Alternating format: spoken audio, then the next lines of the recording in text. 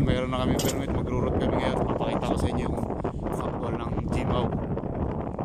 Pakita ko sa inyo guys. Director Hari har. अरे यार क्या कर रहा है रे Ito guys,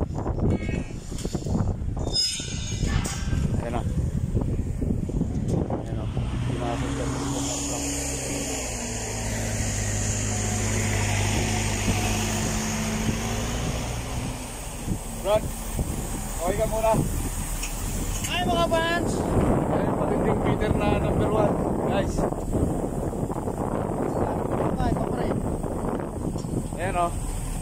Oh. Ito. Ayan o. Papakita ko sa inyo yung internal cam para sa mga para sa mga Peter dyan. Papakita natin, Ah, i-check nahanap. natin yung inter...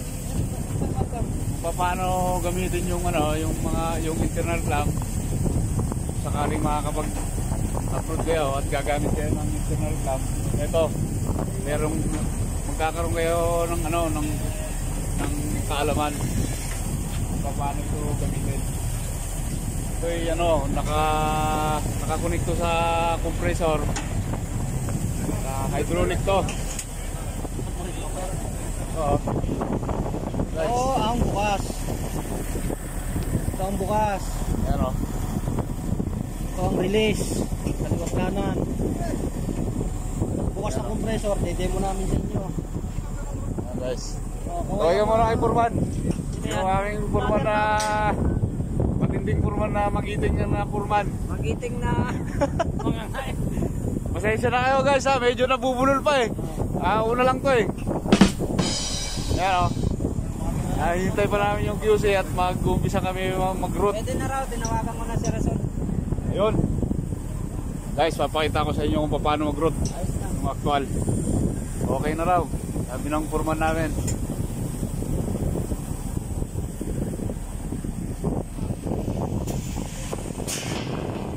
Ah, yung mga nagtitraining dyan sa TESDA, subaybayan nyo yung video ko. Marami kayong matututunan dito. Ito para sa Peter to. Yan. Yan yung internal clamp. Para dito sa dulo. Kanan. Pag pinindot, aangat. Saka mo ng release. Natin. Yun. Yan ang clearance. Ito ang sentro. Ito ang sa landing ng pipe. Ikutin ko na ulit ha. Tawag na. Ito ang magpapantay sa loob ng ano. Ito ang papapay sa loob ng pipe. Para wala siyang hilo. Oo. Wala yung hilo niya. Na lang natin yung side boom. Mag-tap pa tayo.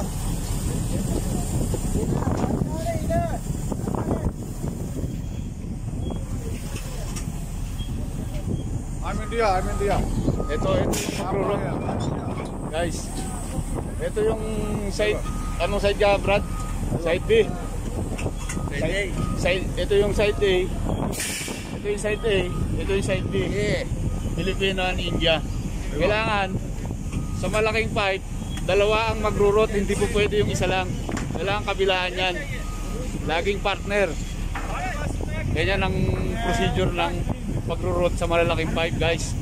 Kaya yung mga nagtitraining dyan sa atin, sa TESDA, tuloy-tuloy nyo lang yan guys. Tuloy-tuloy nyo lang. At pagka pati yung ano, pagka kayo nakapag-abroad, lalo sa parting Europe, talagang sasabihin nyo eh, hindi ako nang hinayang mag-training. Sulit talaga Brad, sulit. Sulit ang pinaghirapan nyo. YouTube. Video. Hi I-upload ko sa ano. YouTube. Ah, May YouTube channel ka? meron. Ngayon guys, uh, hintay lang namin yung ano, yung yung Yung side bomb. Ayan na, papunta na rito. Mapipit up na itong uh, mapipit up na ito ngayon. Malamig. Medyo malamig pa kaya medyo nauutal yung salita ko. Kung pasensya nyo na rin at ah, ngayon lang ako mag-umpisa mag-vlog. Mag-vlog ko lang yung mga ginagawa namin. Para kahit pa paano, yung mga nagtitraining dyan ng welding, marami kayong matututunan dito. Kasi lahat ng size ng pipe, tinitira namin. Hindi ano ha, welding. Bini-welding namin. Mula 1 pataas hanggang 56. Yan.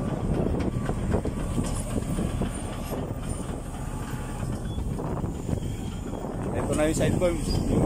Ito na yung side bomb guys. Parating na. Yan o. Ito na yung ano.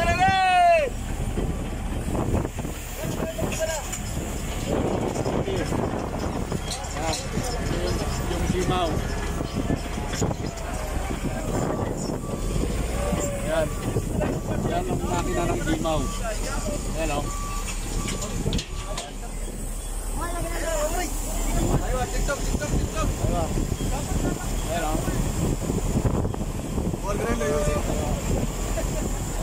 ka! Kabuti! May kasama pa kami arabo dyan guys. Yan o. Me Ahmad Al-Jidan! I'm from Hassa! Ayun. Yeah, older. Two, three. One, two, three. Respect. Respect.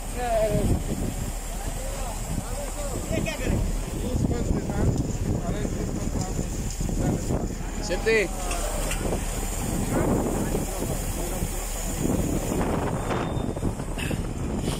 Ayun guys, hintay-hintay lang. Ipapakita, ipapakita ko sa inyo yung ano, yung actual na pagro-root ng Gmaw. Hanggang sa paghatpas, hanggang sa pag-feeling 1, feeling 2, tapos feeling cupping.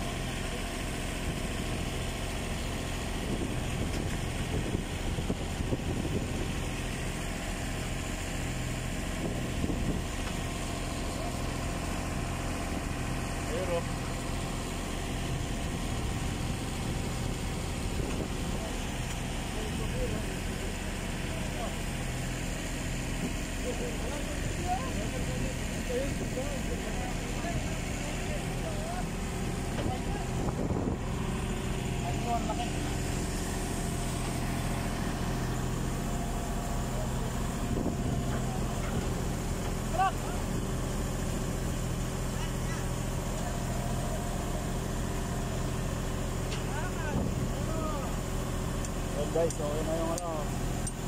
Okay na yung ano yan, yung gap niya.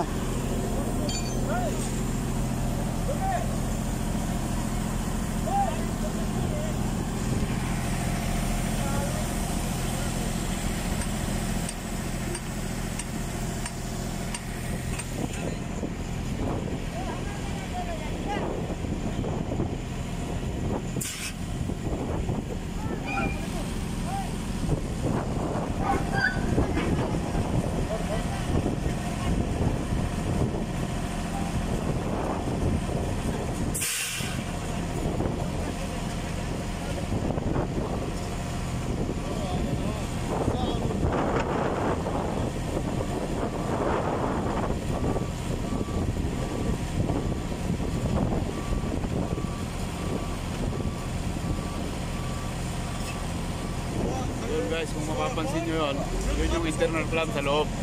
Yun yung magpapantay ng ng bevel sa loob, ah, ng hilo. Yun ang magpapantay ng hilo sa loob para walang hilo.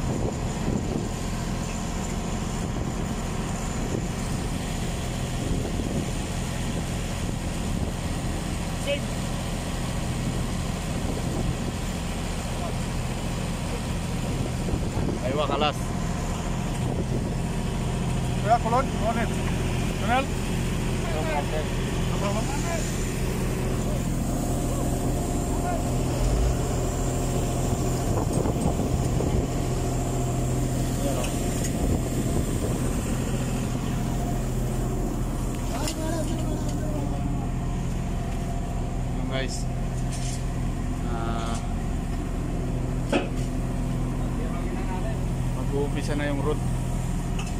Yan na po mga kaibigan, inihawin na natin. Siyempre, bago umpisahan yung road, uh, hitingin muna. Kailangan preheat muna yan. Safety road. انت خلص هذا نقاتل على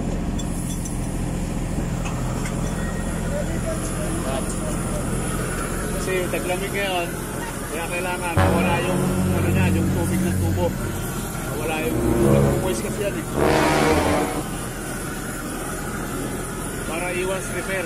Yan ang purpose niyan. Iwas porosity.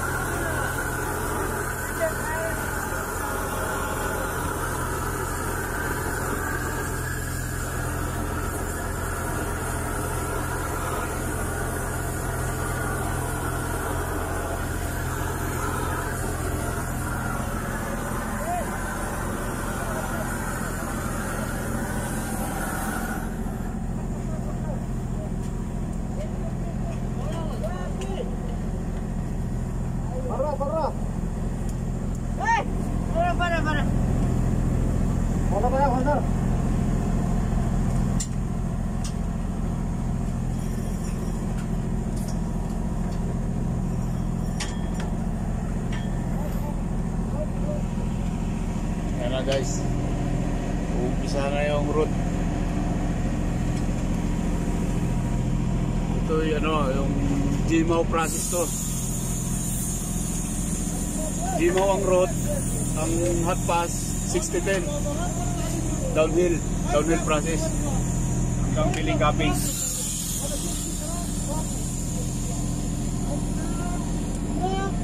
Yan o. Seperti itu, seperti itu. Seperti itu. 70-10, ayun. P, one. Ayan. Seperti itu, P, one.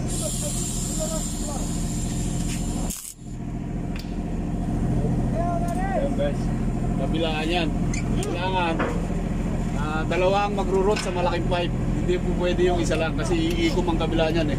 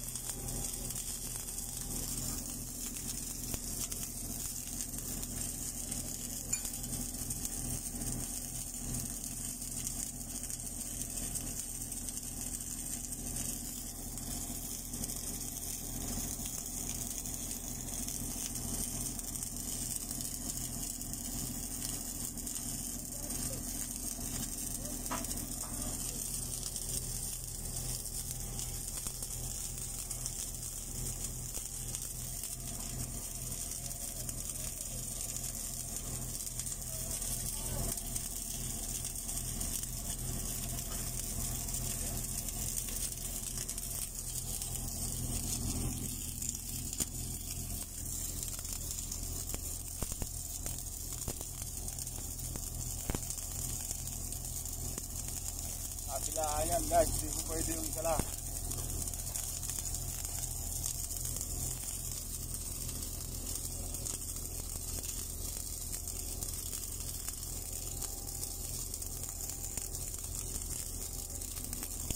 Ang gamit nga pala ng makina niyan, Lincoln. Lincoln yan guys.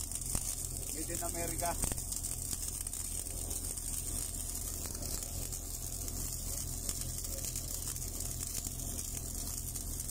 Ang pirahe naman yan, 160. Sa, sa road.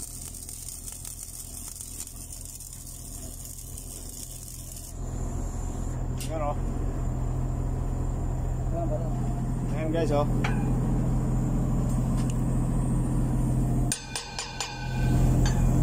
Dito siya ng minto. Kakaunti na lang ang balance.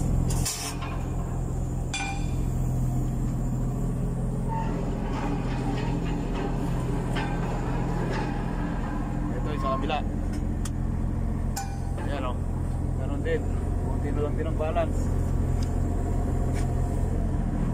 Right, right.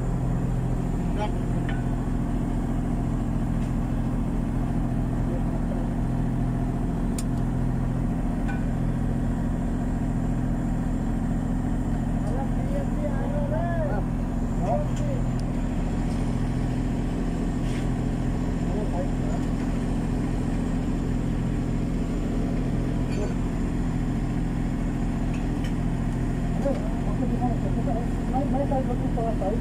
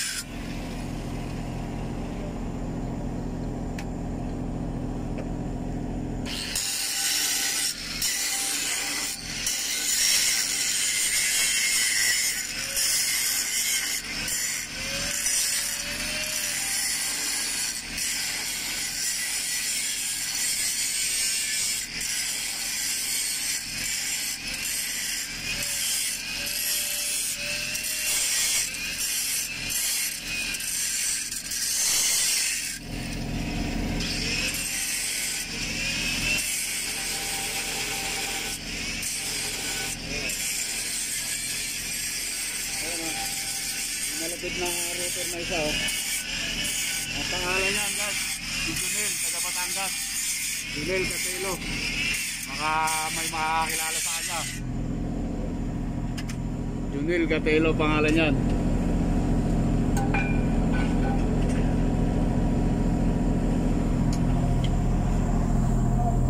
Ayan na guys, magdudugtong na.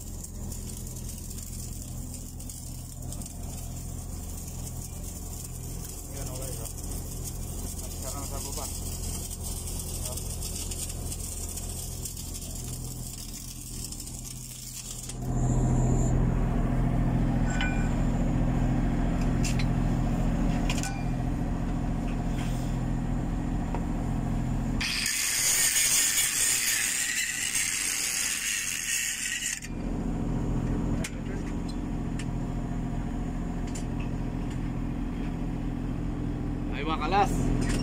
Ginis. May talagang router na tong dalawang to. Wala akong masabi. Dito lang muna ang video ah. Mamaya ipapakita ko naman sa inyo yung hot pass. Yung hot pass naman. Yung pagkatapos sa sinang road, syempre hot passan yan. Kailangan hot passan yan within 15 minutes. Uh, kahit ganun. Ah, kahit mga hindi pala, kailangan mahatpasan ka agad para hindi ano siya, hindi hindi mag-crack. Yun ang purpose naman yan. Kasi pag tumagal na hindi nahatpasan, magka-crack yan. eh.